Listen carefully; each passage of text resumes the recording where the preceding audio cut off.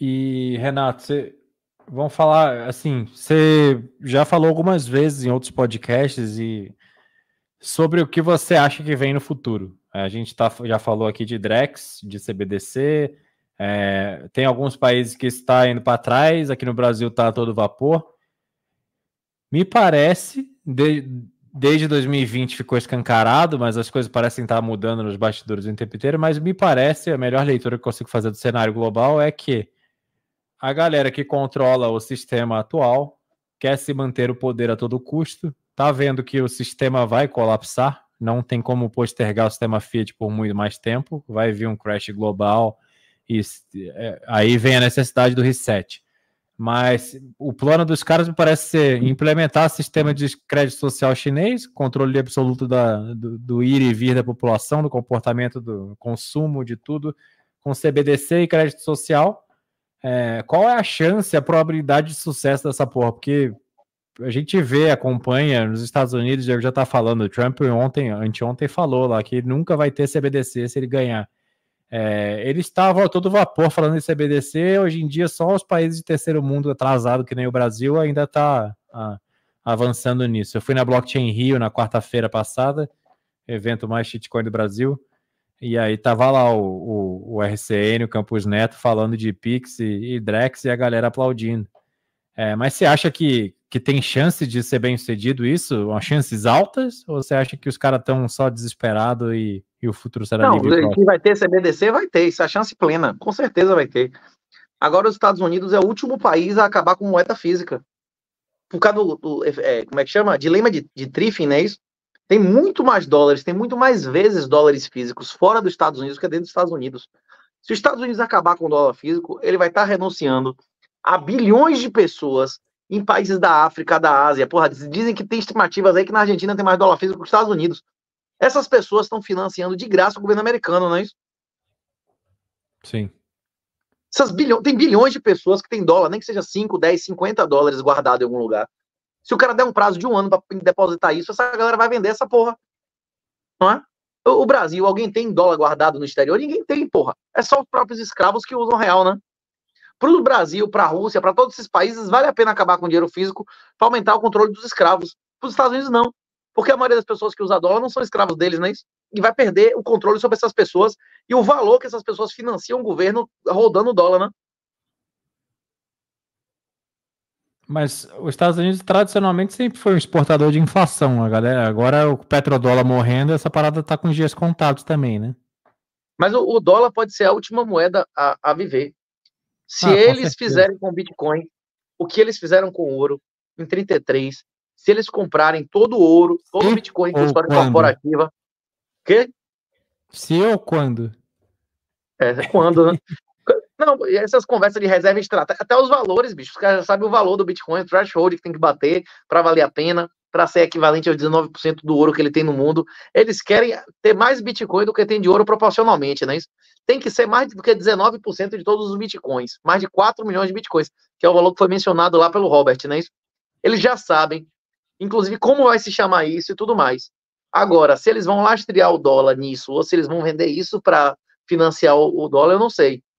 Agora, se eles, se o governo americano de uma atacada agora, só. Quando você fala eles, você está se referindo ao Deep State, BlackRock, Schwab, essa galera? O, o governo americano. A BlackRock vai ser neutra em relação a isso, porque a BlackRock, a BlackRock não tem Bitcoin, ela administra Bitcoin de terceiros. Aí. Inclusive a demanda por ETF depois em dólar vai ser maior do que antes, não é isso?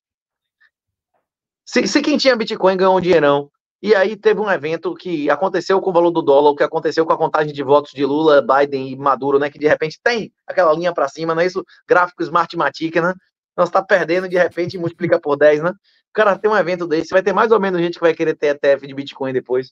Pois é, acho que BlackRock. E, para isso acontecer, os caras precisam criminalizar a autocustódia, certo?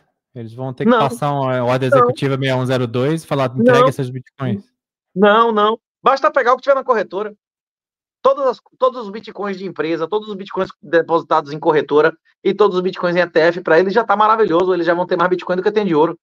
Proibir autocustódia e ir atrás dos caras dá dor de cabeça, não é isso? Então, mas aí é diferente do isso que o, o, Roosevelt fez lá em 33, né? É, é, ele meio que proibiu, ele não, literalmente precisa. proibiu. Ele não ah. precisa fazer isso. Ele não precisa fazer isso. Fora que a autocustódia não dá 5% dos bitcoins nos Estados Unidos, vai ser um trabalho da zorra, que eles não vão conseguir. Eles vão conseguir botar esses caras para fora do país. Vão perder cérebro e empreendedor, né? Se o cara fizer isso. Não, vai, não é vantagem. O, o, otário, o cara que, que, não tem, que não tem formação, o cara que não compra é o nome do treinamento, o cara que não compra o batismo Bitcoin, que não compra esse treinamento que você está vendendo aí, o cara que não faz autocustódia vai ser o cara que vai, vai receber o que ele pediu. Ele não queria a quantidade aumentada de Fiat, ele vai receber a quantidade de Fiat, de Fiat dele, né? Que é tome. Tome, tome, tome, né? Eu conheço o cara que, literalmente, o cara do mercado financeiro tem Bitcoin pra cacete. Aí saíram os ETFs americanos, ele trocou todos os Bitcoin auto custódia dele por ETF, porque é mais prático. ele não queria ele cuidar das chaves. Pô, fora você pagar chaves. uma taxa sobre seu patrimônio inteiro anual. Você tá doido, velho? Hein? Você vai pagar para acesso domizado.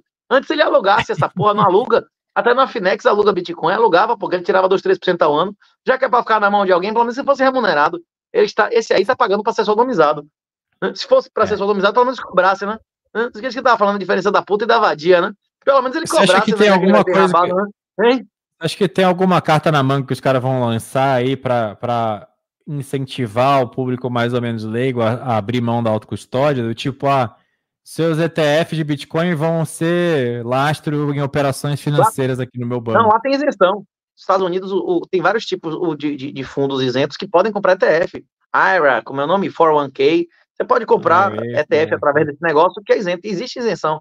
Existe vantagem tributária residente nos Estados Unidos manter o Bitcoin nisso do que em autocustódia, né? Tá. Vamos ler umas, uns comentários aqui da galera. Ó, aqui o Alan Reicher. Abraço, Alan. Que honra!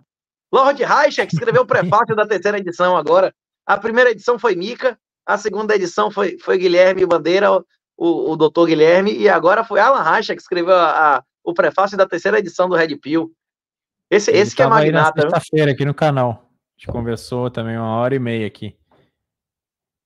Deixou a galera em choque falando que classe média alta no Brasil no passado só, voa, só voava de, de executiva. Aí a galera falou: Porra, esse cara, o cara tá é rico demais. Ele é uma classe média alta, não voa de executiva. Enfim, foi engraçado. Só a conversa foi legal. Rapaz, a galera não tá querendo pagar 30 reais a mais do, da cadeira estendida, né? Hein? Hoje em dia tá, tá foda. Ó, o Beatriz perguntou se você vai sortear um BTC. Perguntou para mim também, mas eu não vou sortear nada, não. Tô sorteando aqui, só distribuindo conhecimento. A gente, tá dando, tá dando de graça uma informação importante que você vai conseguir comprar Bitcoin agora com Fiat. Daqui a na próxima década, Por não sei só quando. 400 mil reais. É. Não, agora 380, deu uma quedinha, né?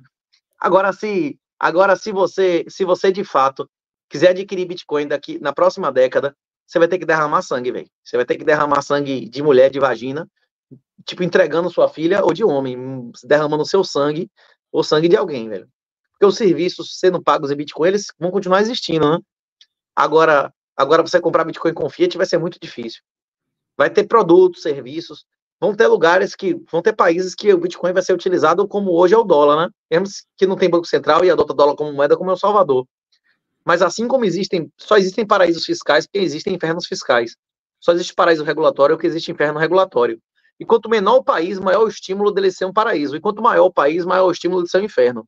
É muito mais provável que o Paraguai, o Uruguai, o Panamá e o Salvador se tornem paraísos do que o Brasil, né? que é um país gigantesco, continental e com valores, instituições altamente comprometidas e aparelhadas por forças sectárias comunistas, não é isso?